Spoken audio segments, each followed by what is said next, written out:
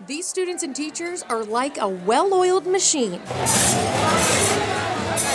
I have rice and soy.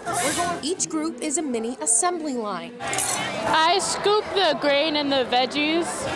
putting together bags of food to be sealed and shipped. Um, I'm just holding the bag and like packing it at when they like put the ingredients in. My job is to measure the rice. I'm bagging it. To be opened again by someone around the world. And we're gonna feed some hungry children. This is the second year Deering High School has packed food for Million Meals Maine, an organization that sends these bags of food to hungry children in 70 countries around the world.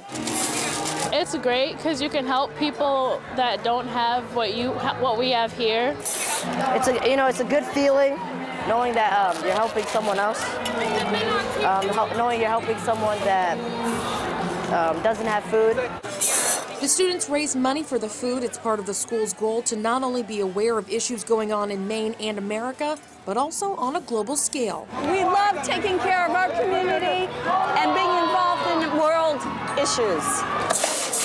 It's a project these students say they hope to do every year. It feels like I'm making a difference. In Portland, Morgan Sturdivant, WMTW News 8.